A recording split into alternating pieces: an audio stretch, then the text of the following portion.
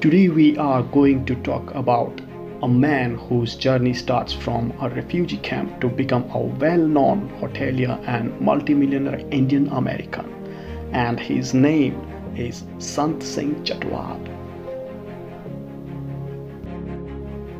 An immigrant who conquered the world's most beautiful city, New York Sant Singh Chatwal is the owner of 12 hotels with the capacity of 3000 rooms in world's most beautiful place in the Manhattan, New York. Chatwal is owner of other 20 hotels around the world. So let's begin the story of success Sant Singh Chatwal. Born in pre-partition Pakistan in 1946 Punjab, he spent 6 months in refugee camp.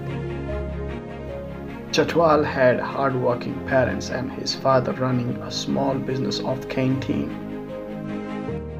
Sant Singh Chatwal got his job in Navy aviation in INS aircraft. After move to Ethiopia, he finally got a good job at the age of 21 in Ethiopian Airline. But then something happened which he was not expecting.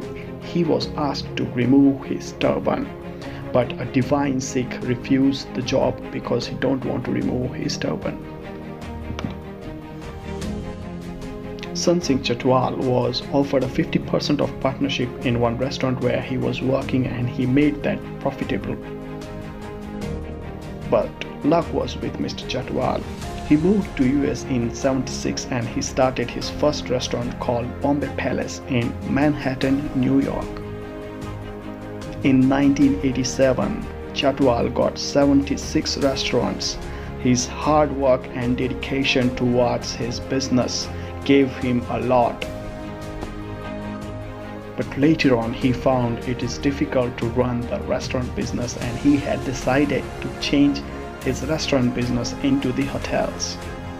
After that, Sant Singh Chatwal never looked behind and because of his hard work and dedication, today he got 12 hotels with the capacity of 3000 rooms in the beautiful place of the world Manhattan, New York.